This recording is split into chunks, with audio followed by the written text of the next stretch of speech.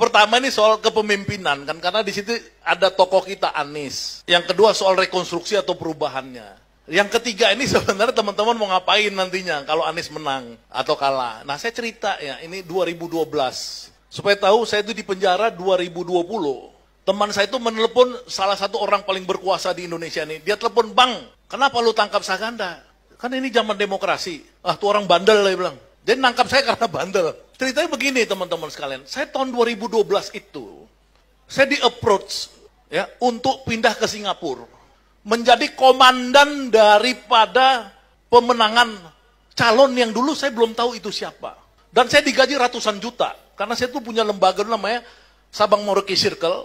Orang ini men, men, men, eh, apa, me, melihat saya punya potensi untuk pertarungan presiden. Jadi di 2012 akhir itu, jadi saya bukan di penjara karena saya ecek-ecek, saya memilih. Jadi di 2012 itu saya sesungguhnya itu adalah harusnya jadi direktur ya dari perusahaan yang memenangkan presiden Singapura. Ya, presiden Singapura waktu itu dia nomor urut 5 waktu kampanyenya, tapi kemudian ada perusahaan Polmark, political marketing, bukan yang punya EF. Ini punya skala nomor 3 di dunia, yang nomor satu punyanya Google yang memenangkan uh, Obama, yang kedua yang Hongaria punya, yang memenangkan Markel, ini mumpung ada ahli sosial media, Pak Mujin, ini saya boleh dicek. Yang ketiga tuh yang memenangkan Tan, per presiden uh, Singapura. Ya, ini nggak main-main. Saya itu bagian dari proyek itu untuk kerja sama mereka. Kantor saya di Singapura, ya, dengan gaji ratusan juta waktu itu. Saya konsultasi karena saya lihat itu yang ada cuma waktu itu nama Prabowo, Megawati, ya 2012 2013 itu yang bersaing 2012 muncul nama Jokowi. Ah, jadi saya lihat oh ini pasti kemungkinan nih orang bakal dukung Jokowi dan saya adalah ketua daripada tim yang paling mahal yang dibeli oleh orang bosnya orang yang minta saya ini untuk memenangkan orang itu. Yang saya mungkin sekarang itu orang itu maksudnya Jokowi. Karena yang minta saya ini adalah orang paling saya katakan salah satu paling kaya di Indonesia. Saya diskusi sama teman saya, teman saya ini cerita, dan lu kan pikiran lu bahwa semua presiden itu harus punya political ideologi, punya pemikiran. Kayak Anies ini punya pemikiran, dia sudah tulis pikirannya di Kompas, bukan orang lain yang nulis. Ya tentang Sibera, Sebira titik dua, meluruskan jalan meraih keadilan. Dia kemarin pidato di eh, apa wawancara di televisi ABC News di Australia, dia punya pikiran. Konstruksi dari sebuah sistem sosial yang disebut sebagai negara itu tidak bisa dipimpin oleh orang yang tidak punya kualifikasi, tidak punya political ideal, tidak punya rencana-rencana besar membangun bangsanya untuk kepentingan kemakmuran bersama dan keadilan sosial. Ini yang nggak ada 10 tahun terakhir ini, 9 tahun terakhir. Nah saya memilih di oposisi, saya sudah 9 tahun.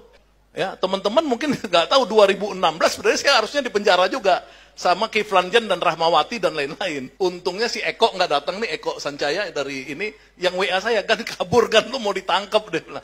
Waktu 212, saya sama Rahmawati setiap hari waktu itu, rapat-rapat penggalangan.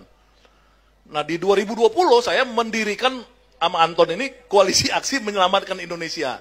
Sama Pak Gatot, ada Bung Mojin, dan ditangkap lah saya. Kan.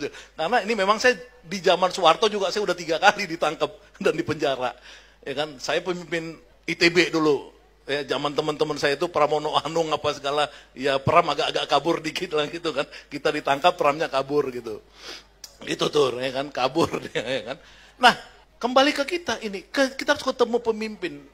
Pemimpin itu itu peristiwa kenabian dalam agama. Kalau bangsanya udah rusak, nah bangsa kita rusak, kita harus cari pemimpin yang dia dalam peristiwa kenabian itu, yang memang dia itu tidak bisa disogok, itu dulu yang pertama, ya. Baru dia pinter. Kemudian dia punya track record. Nah, apa yang diperjuangkan oleh Bronis itu ada pada Anies. Saya tidak main-main, tidak ada kepentingan saya. Kalau saya mau kuasa, mending di zaman Jokowi saya udah kuasa. Ya kan? Saya udah ditawarin berapa kali. 2017 saya ditawari ketemu Luhut Panjaitan oleh Ali Mukhtar Ngabalin, teman saya puluhan tahun. Ya, udah di depan pintunya Luhut, saya harusnya diangkat jadi juru bicara Presiden Jokowi 2017. Ya kan saya nggak mau. Ya kan? Jadi saya bukan Pramono Anung, teman kuliah saya udah telepon kan, lu masuk istana eselon 1. Saya nggak mau. Jadi ini kita memilih aja. Nah, karena saya tahu itu di sana nggak beres tuh. Kenapa nggak beres? Karena tiap hari kekuasaan itu adalah untuk memperkaya diri. Kekuasaan itu untuk elit, pejabat, pesta pora. Nggak ada. Dulu ketutup, sekarang kebuka. Alhamdulillah kebuka sekarang. Dimulai dengan hal-hal yang di luar kekuasaan manusia. Ya saya ini sama Anton eh, Edi udah di penjara, jadi kita kadang-kadang, ya Allah nih gimana sih jalan keluarnya? Eh tiba-tiba Allah membuka aibnya Jenderal Sambo. Oh, orang pikir nih oknum, nggak mungkin oknum, rame kok. Ya kan? Terus Allah membuka lagi aib Teddy Minahasa, Jenderal pedagang narkoba. Waduh gawat. Allah membuka aib lagi hakim-hakim agung. Jadi apa? Jadi mafia kasus. Ditangkapin berapa hakim agung sekarang. Eh terakhir Allah membuka pajak. Di dunia ini yang paling kejam adalah kejahatan merampok uang-uang pajak rakyat. Ya, karena kita setiap hari beli Indomie, setiap hari beli susu, beli apa, semua itu dipajak. Coba bandingkan Aqua, kita beli Aqua di warung Ucok, itu harganya paling 30 ribu, satu dos yang isi 48. Ketika kita masuk ke Indomaret, itu jadi 45 ribu.